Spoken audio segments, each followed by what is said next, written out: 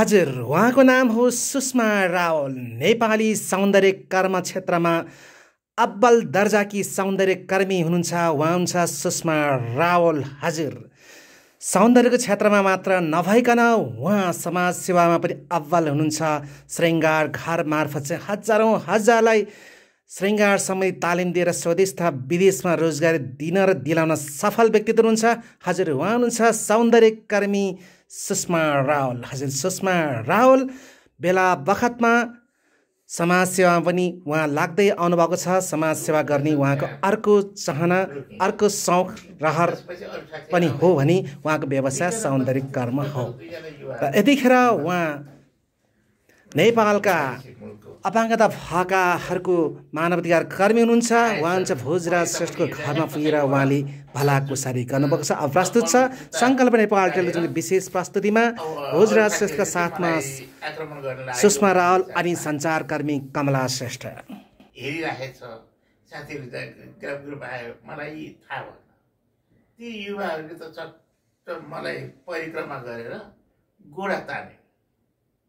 अब मलाई के अब चाहिँ भइरहेलाई चाहिँ अब यिनीहरूले खतम पार्यो भन्ने लागेको छ। बरु त उसले त्यो त्यसरी परिक्रमा गरेर मेरो खुट्टा गोडा तान्नुको कारण चाहिँ गोडा ढोगिदिन खोजेको छ अनि त्यहाँबाट तपाईँले के गर्नुभएको? भनेर मैले आफ्नो गोडालाई सम्हालेँ। होइन होइन हामी तपाईँको गोडा ढोक्छौँ हामीहरू यत्रो जवान छौँ। काहीँ केही गर्न नसक्ने तर तपाईँ खुट्टाले हिँड्न सक्नुहुन्न। अनि तपाईँ यस्तो गर्नुभएको छ। त्यसको लागि हामी तपाईँलाई भगवान् सम्झेर ढोक्नु लाग्यो भनेर भनेपछि ढोक्नु पर्दैन। म पनि मान्छे हो। भनेर त्यहाँ एकछिन बसेँ। खुसी भयो तिनीहरू। त्यस्तो पनि भेट्यो कि। हुन्छन् त्यस्तो पनि हुन्छन् भावनाले भरेको मान्छेहरू पनि हुन्छन् नहुने होइन तर जसमा हुनुपर्ने त्यसमा हुन्न।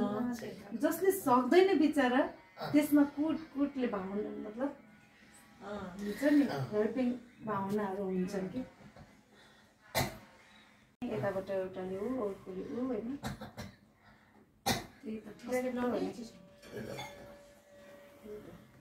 त्यस्तो। स्कुटरमा त मेची महाकाली यात्रा गर्नुभएको है। स्कुटरमा? स्कुटरमा हामी तिसजना जति थियौँ मेचीबाट महाकालीसम्म उनासत्तरी साल अत्यन्त मधेस पनि बलेको बेला पूर्व पनि सुदूरपश्चिम भनेपछि आन्दोलनको बेला। आन्दोलनको बेला पर्यो नि। बिच बिचमा आन्दोलन अरूको हुँदाखेरि पनि एक हप्तामा द- आठ दिनमा हामीले कञ्चनपुर चाँदिन दोधाएर पुगेर अनि यस्तो। अब त अब अबका उनीहरूले त अब बेला बेलामा कति राम्रो राम्रो कुरा पनि ग कुरा चाहिँ होइन? है जस्तै शिक्षालाई लिएर यस्तो कुराहरूलाई लिएर स्वास्थ्यलाई लिएर होइन? कुराहरू त कति राम्रो राम्रो उठिरहेका छन्।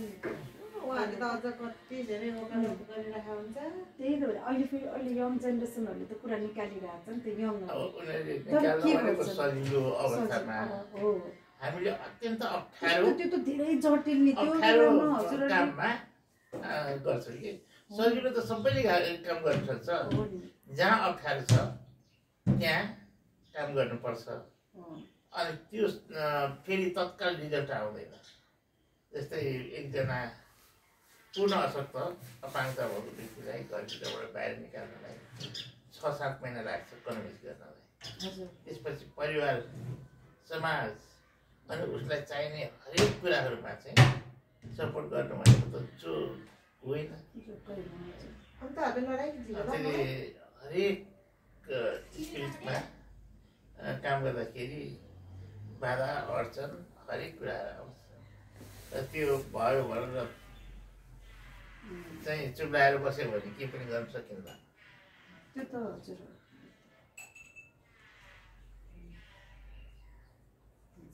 उनसत्तरी सालमा हजुर त्यहाँ उता मध्य प्रदेश भ्रमण गर्नुभएको उतापट्टि जानुभएको भनेपछि त त्यो बेलामा त पुरै आन्दोलन चर्केको बेला थियो। ए। अब के कैलाली पुगेपछि त झन्डै थारूहरूले सिद्ध्या। झन्डा बोकेको छ नेपालको झन्डा होइन? लिएर आयो भने हजुर नेपालका वरिष्ठ सौन्दर्यकर्मी सुषमा रावलले मानव अधिकार कर्मी भोजराज श्रेष्ठ र सञ्चारकर्मी कमला श्रेष्ठसँग कुरा तपाईँले हेर्नुभयो। तपाईँलाई धेरै धेरै धन्यवाद। हस् नमस्कार।